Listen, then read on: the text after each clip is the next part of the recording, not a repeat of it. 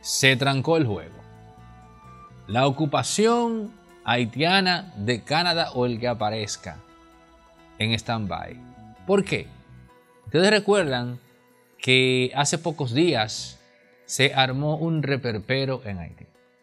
Porque aparecen seis, nueve oficiales de la policía de ese país sin vida, desnudos y con sus armas de reglamento en sus partes íntimas.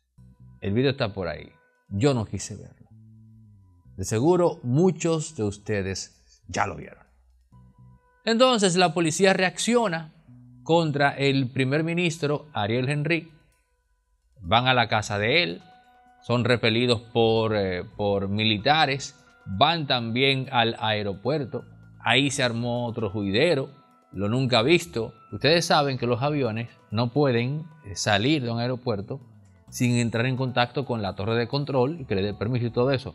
Pues les cuento que cuando los policías entraron al aeropuerto en búsqueda de Ariel Henry, algunos pilotos de aviones salieron, atentos a ellos, desesperados, Haití siendo Haití, y se olvidaron de ese protocolo y le dieron para allá. Abandonaron el aeropuerto.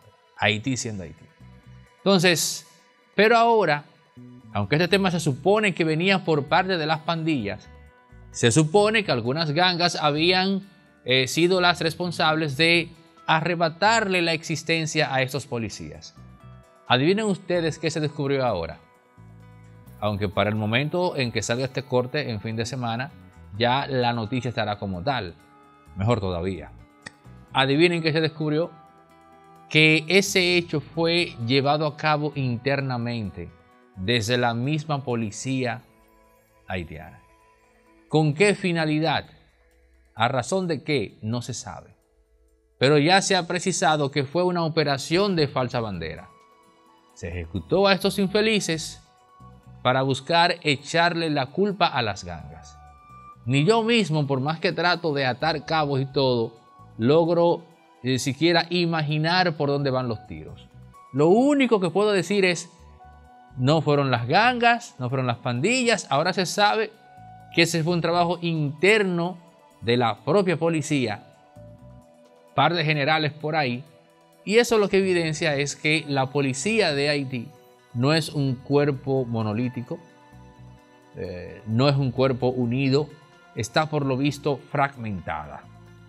No debería sorprendernos, porque si existe una sociedad que puede ser vista como, digamos, el ejemplo de lo fragmentario, es precisamente la sociedad haitiana. Pero ahora sabemos entonces que la policía también está fragmentada, pero amén de fragmentada, radicalizada a un punto tal que internamente un par de generales, generales pueden, eh, digamos, em, atento a ellos, disponer, despachar la vida de varios miembros de ese cuerpo. ¿Y qué ocurre? Bueno, luego de hacer este contexto, Ocurre que así no se puede ocupar un país. Así no se puede ocupar un país. ¿Producción iba a decir algo? Ok, continúo entonces. Un cuerpo de ocupación necesita como, digamos, eh, condición básica tener un ancla en el país que será ocupado. Y ese ancla puede ser, imagine usted, una junta de vecinos. O sea, usted no va a ocupar un país sin tener un elemento interno de dicha nación que lo represente. En este caso, en el caso de la ocupación, se supone que la Policía Nacional de Haití iba a ocupar ese rol. Pero ¿cómo puede la policía ser el elemento a representar a las fuerzas de ocupación si ya ven ustedes cómo internamente en la policía se puede trabajar de esa forma. No son confiables. Si son capaces de darse para abajo entre sí, para que usted me entienda en buen dominicano, si son capaces de eso, son a su vez capaces de hacer cualquier acción para dañar o afectar a uno que no sea de sus filas. Por eso es que digo que después de esto, yo dudo mucho que la ocupación siga su curso hasta que no se determine, hasta que no se precise quién va a ser en Haití los que van a hacer la función de representar a. Para que usted tenga una idea de qué estamos hablando. Fíjense cómo Estados Unidos, por solicitar un caso, en la ocupación que se dio en Irak, se necesitaba un gobierno de coalición, pero un gobierno interno, un gobierno de iraquíes. Ese gobierno supuestamente por la paz, la estabilidad de la zona, pero mentira, ese gobierno era sencillamente eh, el, el factor interno pichándole el juego a los invasores, pichándole el juego a quienes ocuparon. Pero el mismo libreto se hizo en Japón. El mismo libreto se llevó a cabo en la Alemania ocupada tanto por los ingleses como los gringos, así como los soviéticos del otro lado. Porque siempre es necesario eso. Usted no va a ocupar, atento a usted, eh, estamos aquí, somos de, aquí, de aquí para allá nosotros, de aquí para acá ustedes. No, no funciona así. Usted necesita un elemento interno que sea esa conexión entre usted y los eh, nativos de esa nación. En el caso de Haití, después de lo que acaba de ocurrir con la policía, eso se perdió. Ese norte se perdió. Ya en sí era disco, disco lo que fue lo que pasó, ver a la policía arremetiendo contra el primer ministro. O sea, se supone que ellos forman parte de, digamos, de esos eh, organismos de seguridad que tienen que velar por el orden de ese país. Pero pasa el tema aquel y la policía lo que hace es emprenderla contra el primer ministro. Muy mal. Haití siendo Haití.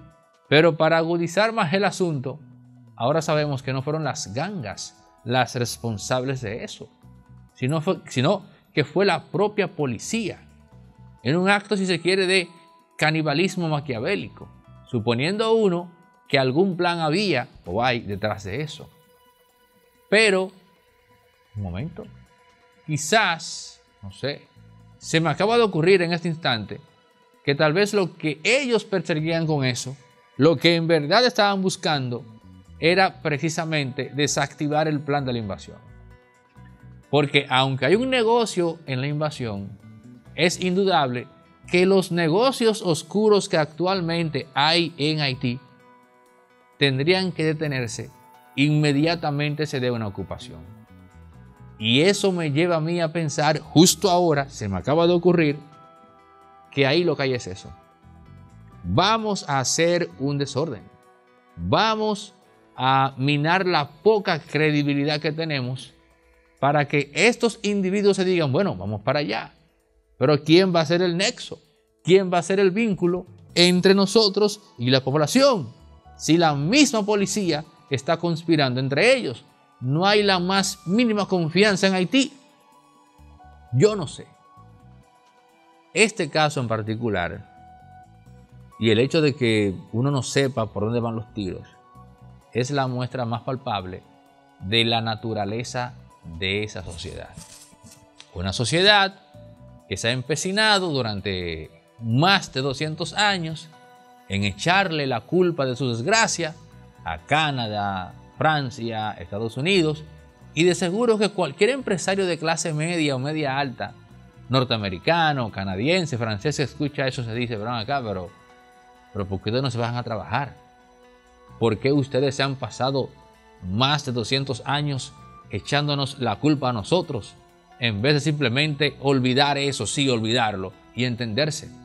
La lógica, para que usted comprenda qué tan absurda y estúpida es esa lógica y ese discurso, eso que plantean los haitianos, es decir, no, la comunidad internacional, la deuda histórica que tiene Canadá, Francia con nosotros, somos pobres por culpa de ellos, porque en el año tal.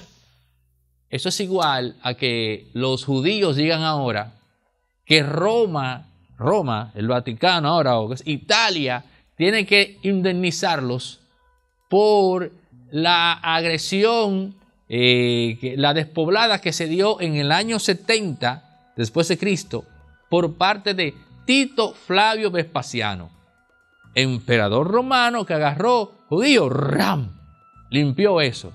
Eso es como que los judíos estén ahora, dos mil y pico de años después, diciendo, tienen que indemnizarnos, tienen que pedirnos perdón y todo lo que hemos vivido desde allá hasta acá es culpa de ustedes por eso. Así de absurdo es el planteamiento y más absurdo intelectuales que se hagan eco de eso. Eso es como que si nosotros viviésemos con un resentimiento histórico hacia los españoles.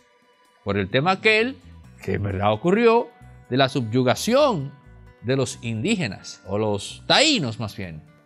Pero yo digo, ven acá, pero yo como tal soy resultado de eso, de esa eclosión violenta, sí. Yo nací de ahí. Como yo voy, a, voy ahora a arremeter contra el español si mi existencia se la debo a ese hecho.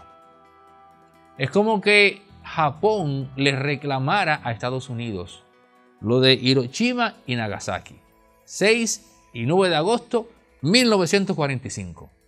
¿Cuál hubiese sido el resultado de eso? Con toda seguridad, Japón no sería la nación que es hoy día. No pertenecería al G7. Pero como Japón cerró esa herida histórica, hoy día, durante décadas, ha sido socio comercial de Estados Unidos. Resultado, ambas naciones prósperas y ricas. Claro está, con sus problemas internos, porque nada humano puede ser impoluto, nada humano puede ser inmaculado, nada humano puede ser perfecto. Entonces, así de absurda es esa lógica. Y ahora, la conclusión a la que llego en este momento es que esos generales hicieron eso para agudizar aún más el caos y ponerle un stop al tema aquel de la ocupación militar a la vecina nación de Haití.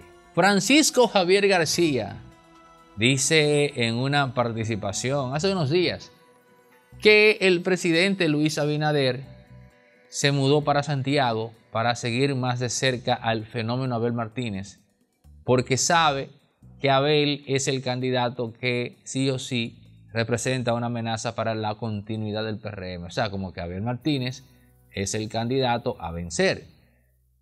Francisco Javier García sabe perfectamente que el presidente acondicionó una casa en Santiago no por temor a Abel Martínez, no porque existiese la necesidad de caramba, de que Abel eh, Martínez ameritaba un seguimiento más de cerca. No. El presidente acondicionó una casa en Santiago porque Manuel Estrella y su grupo de empresarios así se lo pidieron. Para ahorrarle, oigan esto, para ahorrarle el viaje a la capital a Manuel Estrella. Claro, Manuel Estrella y su grupo es, digamos, eh, esa, esa élite que está financiando el proyecto reeleccionista de Abinader o que al menos se comprometió con eso. Pero, como él es el que corta el bacalao, se permite sugerirle al presidente que para que esté mejor comunicado, mire presidente, acondicione esa casa y coja para acá. Debió ser al revés. Pero todavía, dos años y pico de gobierno después, hay algunos códigos del poder que Luis Abinader no maneja todavía del todo. Pero bueno, esa es la razón, Francisco Javier García, y tú lo sabes, por lo cual Abinader acondicionó una casa en Santiago. La misma razón por la cual el último discurso grandilocuente que dio, que fue me parece que el del 16 de agosto, lo hizo desde Santiago, porque así se lo pidió esa élite empresarial con Manuel Estrella a la cabeza. Algo así como que una casa, un pacto. En Santiago, en donde el presidente Luis Abinader, al menos en teoría, se compromete a darle todo lo que esa élite pida. Y el primer gran eh, choque se da con el tema de David Collado y Raquel Peña. porque eh, Manuel Estrella quiere a Raquel Peña de vicepresidenta. Pero también la familia Vicini quiere que sea que sea David Collado. Aunque esta misma familia tiene otro elemento presidencial en el gobierno, que es funcionario también. Pero ese nombre me lo voy a reservar por ahora. Porque en cualquier momento, de manera inevitable, ese candidato también va a salir. Y con toda seguridad, tiene mejor preparación, sabe más de política que David Collado. Pero David es el blanquito. Hay que dejar que el muchacho corra adelante porque él es el blanquito. En fin, ustedes saben a qué me refiero. Señores, Luis Abinader no fue a Santiago para vigilar más de cerca a Abel Martínez. Fue, y este es el dato que tiene que quedar, porque se lo pidió Manuel Estrella. Presidente, cada vez que usted quiera hablar conmigo, coja para acá, para Santiago, y por favor, por favor, entre comillas, ¿eh? ahórreme el viaje a la capital.